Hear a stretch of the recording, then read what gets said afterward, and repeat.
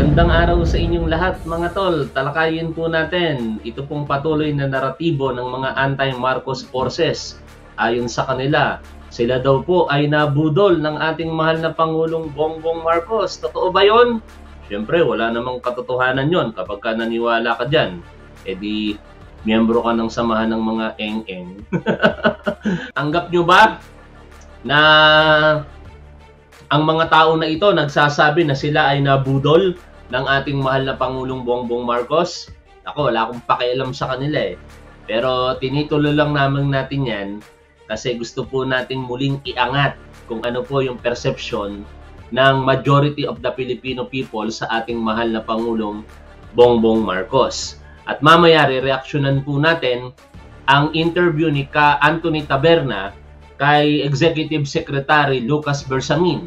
At sa mga pahayag po dyan ni Executive Secretary Bersamin, makikita po natin at malalaman po natin patuloy kung gaano po kagaling, kung gaano karapat dapat, kung gaano nagmamalasakit ang ating Pangulong Bongbong Marcos para sa Pilipinas at sa bawat Pilipino. Itong mga nagke-claim na sila po ay nabudol ng ating Pangulo Actually, mga DD shit po ito. Kasi hindi naman sasabihin ng mga pinklawan na sila'y nabudol eh. Dahil kailanman hindi nila iboboto si Pangulong Bongbong Marcos. Pero itong mga DD shit na ito, kunyari bumoto lang ang mga ito pero actually di naman sila bumoto.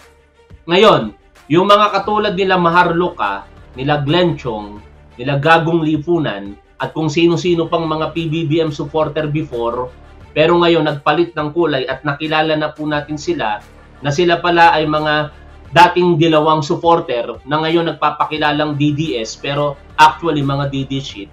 Mga oportunista kasi ang mga tao na yan.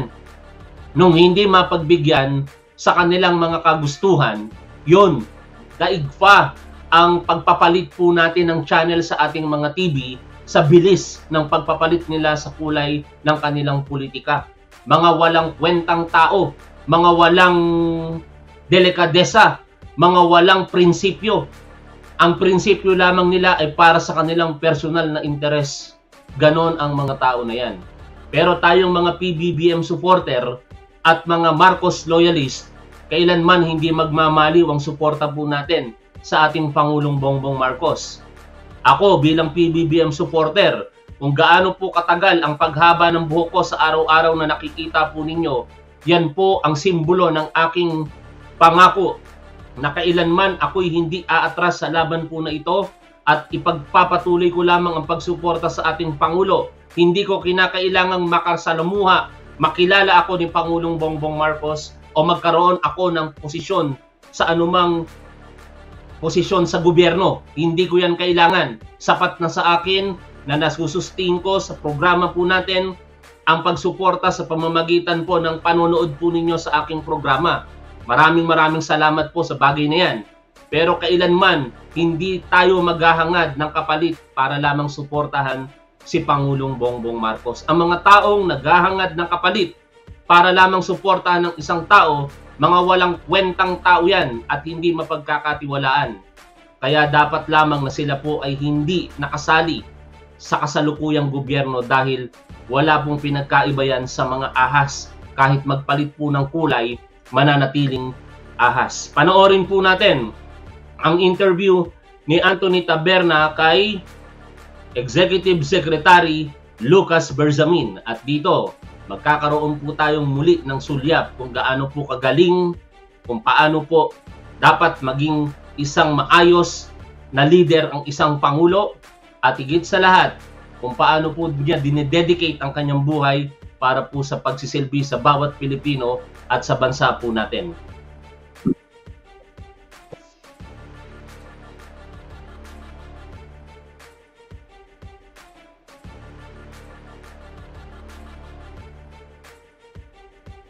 Yan. Salamat sa lahat ng mga vlogger na kapwa ko hanggang ngayon sumusuporta kay Pangulong Bongbong Marcos. Walang inaantay na kapalit. Ngayon, kung may blessing man na dumarating sa atin, ipagpasalamat po natin yon. Una kay Pangulong Bongbong Marcos, Pangalawa sa ating mga manonood at higit sa lahat sa ating Diyos sapagkat sa Kanya nang gagaling lahat ang mga pagpapala. Yan ang nagtataguyod sa atin para magpatuloy tayo sa laban na ito hanggang sa June 30, 2028. Walang BBT mga tol. Yung mga content creator dyan na hanggang ngayon nasa panig ng ating Pangulo. Depende sa inyong niche kung ang inyong mga topic ay para lamang sa mga programa ng ating Pangulo, ipagpatuloy nyo po yan. Kung kayo po ay nagtatanggol sa ating Pangulo, ipagpatuloy nyo lamang. Ang mahalaga, wag po tayong BBQ. Katulad ng mga walang hiyang tao na katulad ni Maharloka, ni Glenn Chong, ni Gagong Lipunan, at sino pa ba? Yung mga nagpakilalang mga BBM supporter at vlogger. Pero ngayon, hindi mo na mapagkakakita dahil hindi lamang napagbigyan sa kanilang mga kahilingan. Inuulit natin, nagpapasalamat po tayo sa lahat, lalong-lalo na sa inyo pong mga manonood na unconditionally sumusuporta sa ating Pangulo kahit hindi po kayo nakikita sa harapan ng publiko. Eh ano naman kaya ang masasabi nitong executive secretary po natin sa mga nagsasabi na nabudol po sila?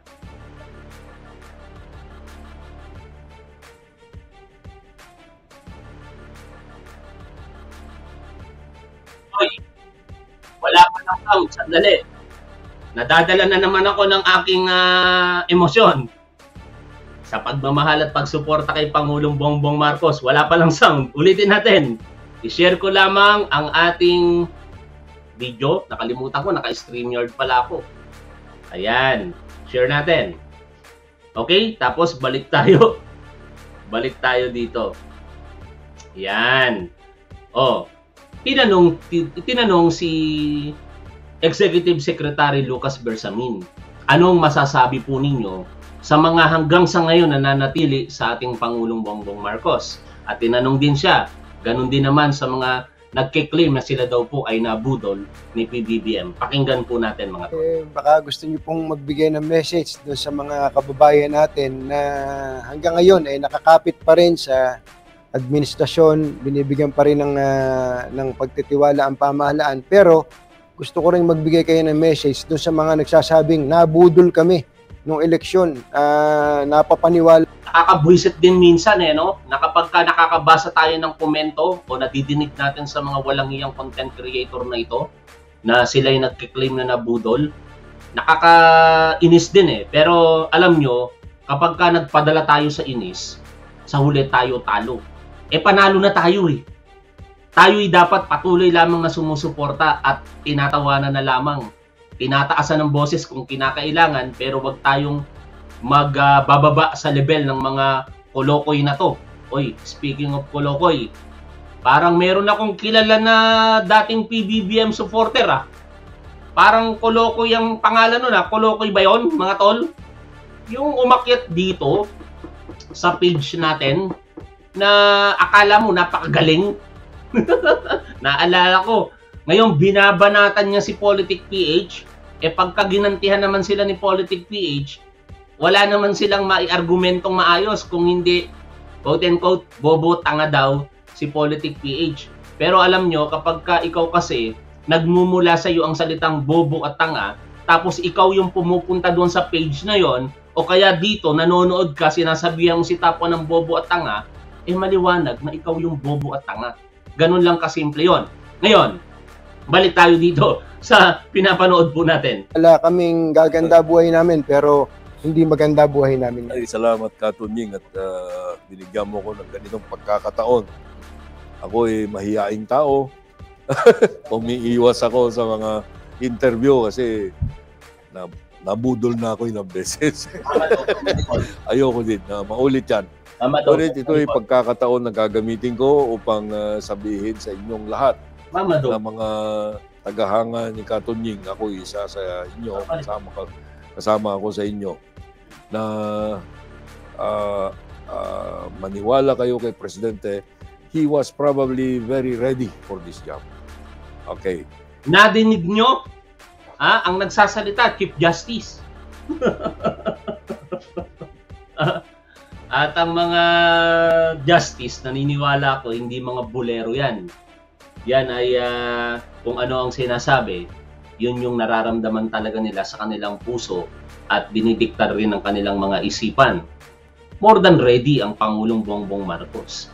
Kaya sa lahat ng mga kumandidato sa nakaraang May 9, 2022 elections, eh, simple lang ang batayan eh.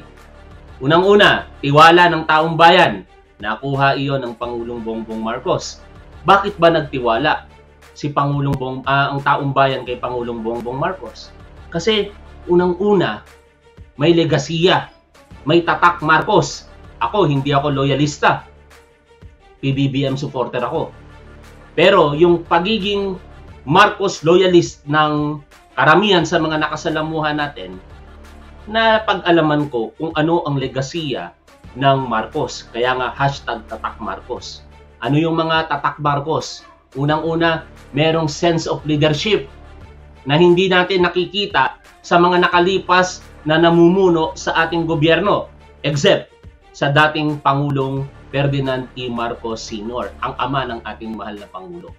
O kaya meron na kagad tayong premise na kapag ka Marcos, magaling itong manungkulan. Eh, pag ang pinag-usapan, karanasan, alam naman natin na napakalawak ng karanasan ni Pangulong Bongbong Marcos. Ipinanganak noong September 13, 1957.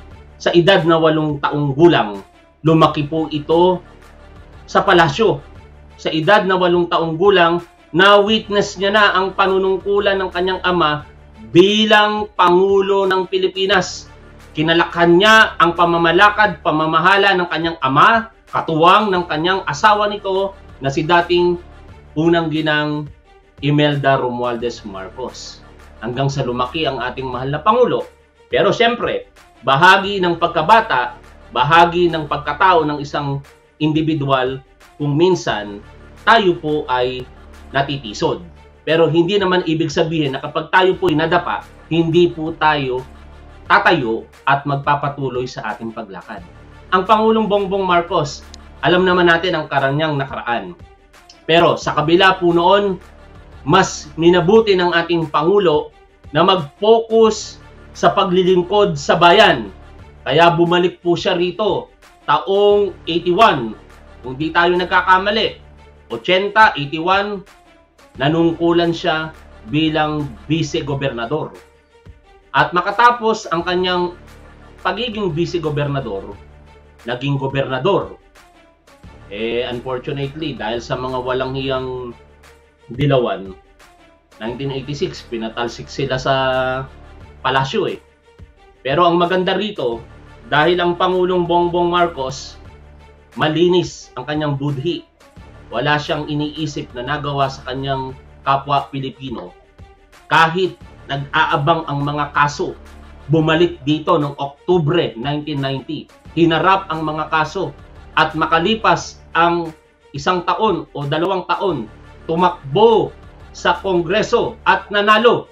Naging kongresista taong 1992. Muling nagpatuloy sa kanyang panunungkulan sa particular Ilocos Norte. Unfortunately, noong 1995, tumakbo sa pagkasenador at natalo. Ganun talaga ang buhay ng tao. Madadapa, minsan, pero kailangan mo magpatuloy at bumangon. 1998, bumalik sa local government units, tumakbo bilang gobernador at nanungkulan ng tatlong termino hanggang 2007. Sa 2007 hanggang 2010, muling naging kongresista. At syempre, hindi lang naman ang mga taga Ilocos Norte ang mga Pilipino, kung hindi ang buong Pilipinas. Kaya hinangad ngayon ng ating Pangulong Bongbong Marcos na maglingkod sa pamamagitan ng pagiging mambabatas into a national scale. Kaya tumakbo sa pagkasenador at nanalo. Unang pagboto ko kay Pangulong Bongbong Marcos noong 2010 bilang senador hanggang 2016 naghangad na maging vice presidente. Unfortunately, nadaya. Pero sabi kasi ng Supreme Court, eh wala daw dayan. O sige, so be it. Kaya ngayon, gumanti tayo. 2022, ang karamihan na mga hindi bumoboto sa mga nakalipas na taon, pumila sa Commission on Elections para lamang magparehistro at sa panahon ng halalan, pumila para lamang bumoto. Siguraduhin na ang Pangulong Bongbong Marcos hindi na ulit madadaya pa. 31 million po tayong bumoto. Ngayon, sa mga nagsasabi na kayo'y nabudol, mga eng-eng kayo. Kasi bakit? Unang-una, pag kayo'y bumoto, dapat alam ninyo kung bakit kayo bumuboto. Ngayon, kung ang kadahilanan ninyo, eh kasi posisyon ang kailangan namin, kaya ako binoto itong si Bongbong Marcos eh. Eng-eng talaga kayo. Dahil ang mga naghahangad ng kapalit, hindi yan karapat-dapat na manungkulan sa ating gobyerno. Kami, bumoto kami. Babalikan ko lang yung mga sinabi ko. Dahil sa karanasan ng ating Pangulong Bongbong Marcos. At maya-maya, sasabihin dito ni Executive Secretary Lucas Bersamin kung gaano katalino si Pangulong Bongbong Marcos at mamaya ulit sasabihin niya kung gaano kasipag at pinaghahandaan ni Pangulong Bongbong Marcos ang kanyang araw-araw na trabaho bilang Pangulo ng Pilipinas. Tuloy po natin ang sinasabi po dito ni Executive Secretary Lucas Bersamin.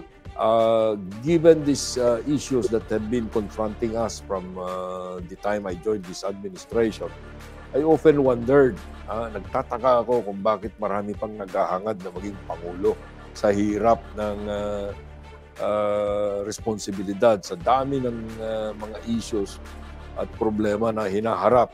Uh, totoo yan, ano? Alam nyo, nakakapagtaka talaga eh, bakit ang daming gustong maging Pangulo. Pero hindi natin pinagtakahan yan kay Pangulong Bongbong Marcos kasi alam niya na noon pa lamang kung gaano kabigat ang burden ng isang Pangulo ng Pilipinas. At hindi niya kaya ginusto yan para lamang sa kanyang sarili. Ano ang pamantayan natin? Bakit sinasabi natin na hindi makasarili si Pangulong Bongbong Marcos? Yung kanyang greatest fear alam niyo ba kung ano yung pinakakinakatakutan ng ating Pangulong Bongbong Marcos? Makailang beses niya itong sinabi sa harapan ng publiko o sa mga interview na kanyang pinaunlakan. Sabi niya, ang kinakatakutan ko, hindi man ito verbatim ha, ang kinakatakutan ko na mangyari sa akin na ako'y pumanaw nang wala akong natulungang tao. Nang hindi ako nakapagbago ng buhay ng ibang tao. Yun ang greatest fear ng ating Pangulo. Isang pamantayan sa isang magaling na leader. Bakit? kapag ka ikaw leader ka, ganun ang pamantayan mo. Anim na milyong Pilipino, pamilya, hindi lang Pilipino, anim na milyong pamilyang Pilipino ang mabibigyan mo ng pabahay sa loob ng anim na taon. Di wala na kagad katatakutan si Pangulong Bongbong Marcos kasi doon pa lamang anim na milyong pamilya na kagad ang binago niya ang buhay sa pamamagitan ng affordable na bahay para po sa mga kwalipikadong individual o Pilipino. E isasama pa na isasama pa po natin diyan ang napakaraming sektor ng ating lipunan katulad sa larangan ng agrikultura, even sa peace and order.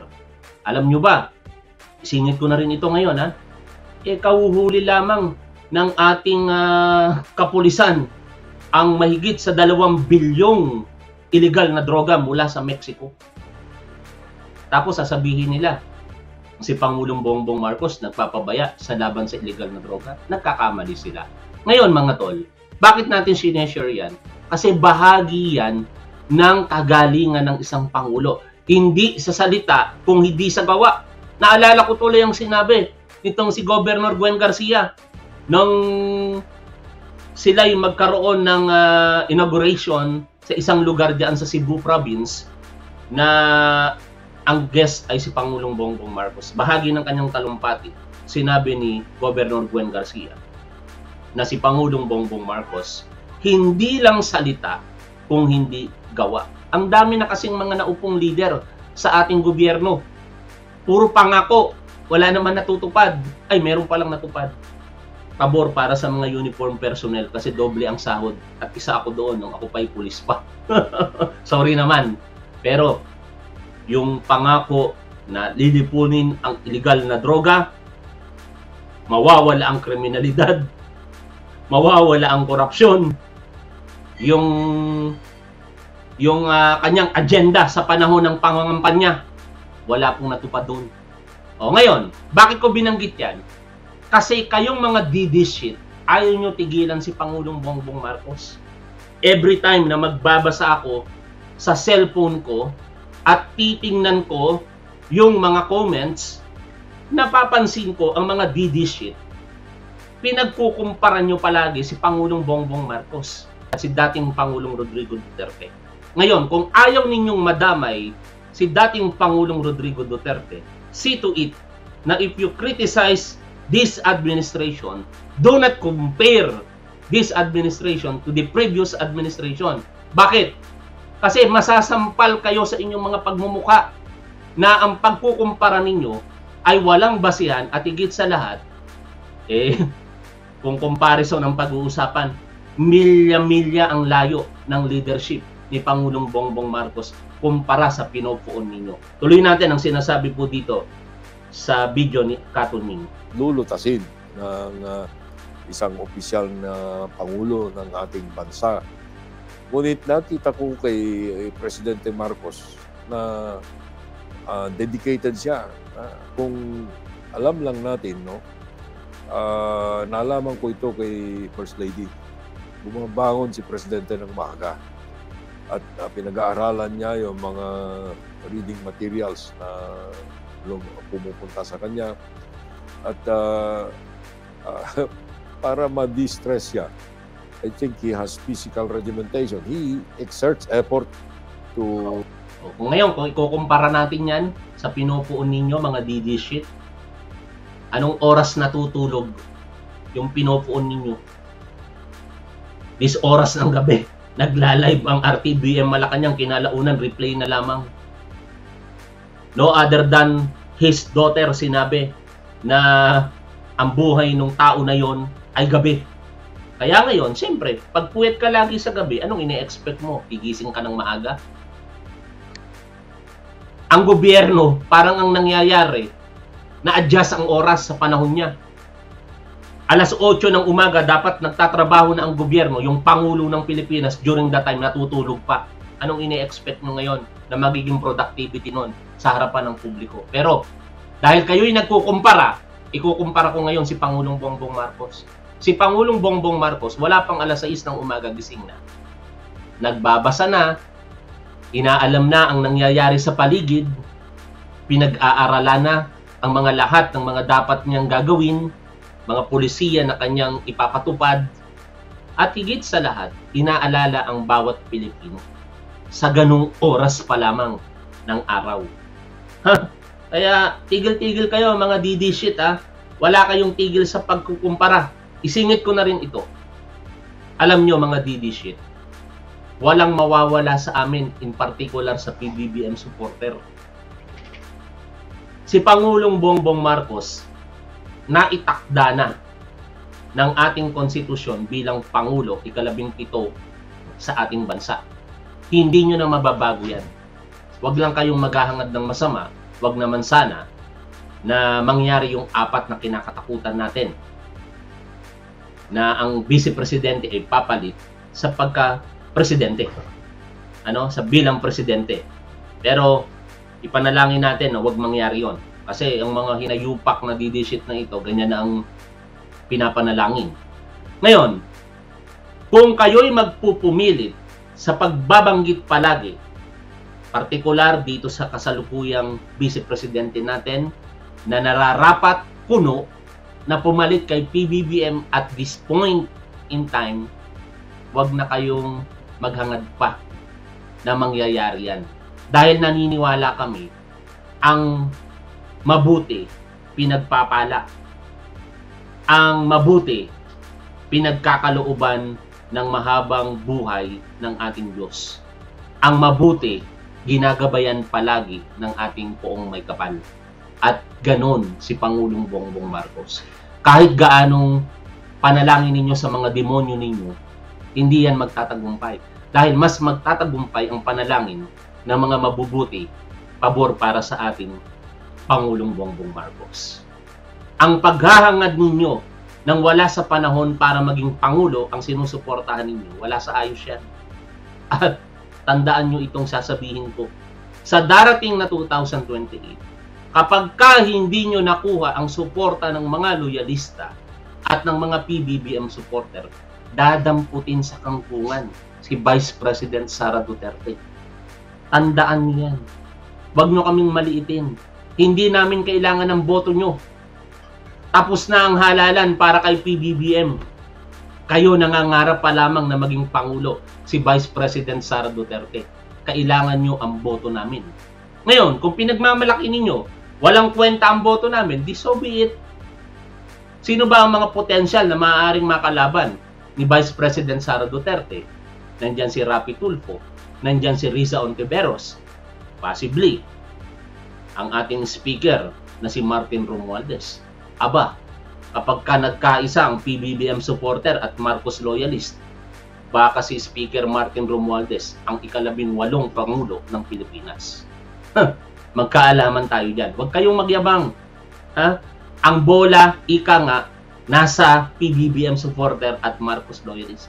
Sa basketball, para itong lamang po tayo ng napakalaki at press the ball lamang ang ginagawa ng mga PBBM supporter at Marcos loyalist. Pero kayo, naghahangad pa lamang kayo.